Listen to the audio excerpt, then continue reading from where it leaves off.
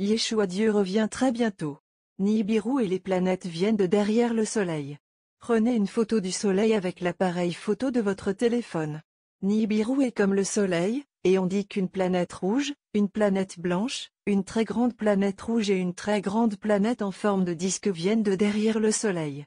Désormais, les gens verront ici et là une grande planète blanche flottant comme un nuage, deux soleils, une très grande planète rouge au lever et au coucher du soleil, et un métal qui ressemble à un disque. Vous verrez une planète de couleur vive, gris, argent, flotter dans le ciel blanc, vous verrez un ciel violet et vous verrez une lumière de couleur or pur 24 carats tomber dans le ciel. Les planètes blanches sont très grandes et ressemblent à des couleurs arc-en-ciel étincelantes. Elles sont mieux visibles dans le ciel oriental lorsque le soleil se lève.